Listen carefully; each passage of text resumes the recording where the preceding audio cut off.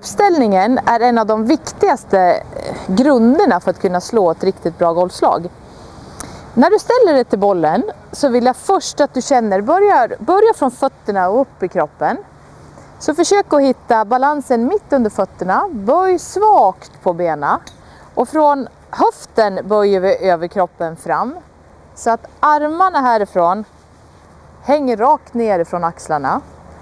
Här har jag en bra uppställning för att kunna leverera ett riktigt bra golfslag.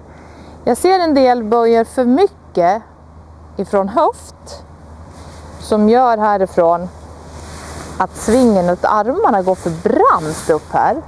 Eller så står de för rakt här som det är lätt att man då också att man svingar för flackt, för runt i golfsvingen.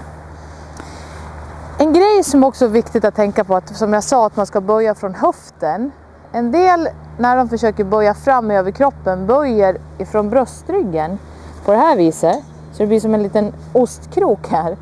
Som gör att du inte kan rotera axlarna på, på ett bra sätt.